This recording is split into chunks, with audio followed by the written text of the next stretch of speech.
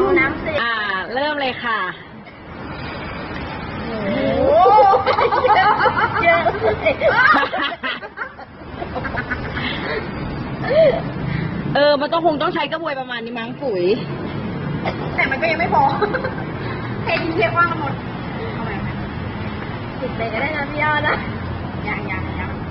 ยังไม่สะใจใช่ไหมพี่ยอดต้องพาสวยๆนะใช่ค่ะ ต้องทำให้มันสวยงาม สวยเลย กูเออจะแซะออกเลยวันเนี้ยแซะโมเอาไอ้นี่ เอาไอ้นี่ขีดขูดข้างๆมันทิ้งเหมือนแม่ค้าเขาทำมาเออแม่ค่ะแซะโมงกระปูเผยซื้อมาสามเครื่องด้วยนะกระปูยอดตอนนี้นะคะ แค่เตาแรกเอาเอาไม่รอดเลยนะคะ มันยัด เอาพับรู้สึกว่าจะมีกลิ่นเหมือนแป้งไหม้แล้วนะคะแม่ค้าเอาพับรูปอะไรดีเอารูปรูปอะไรก็เอาให้รอดกันเถอะค่ะอุ้ยเยี่ยร้อย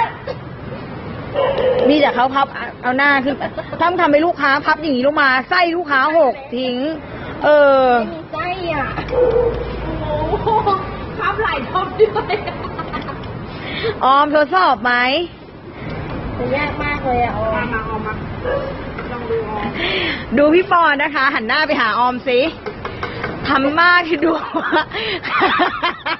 ปุ๋ยเห็นหรือยังคะเห็นแล้วค่ะไม่มีกำลังใจเลยเหรอออมทำไมไม่แดง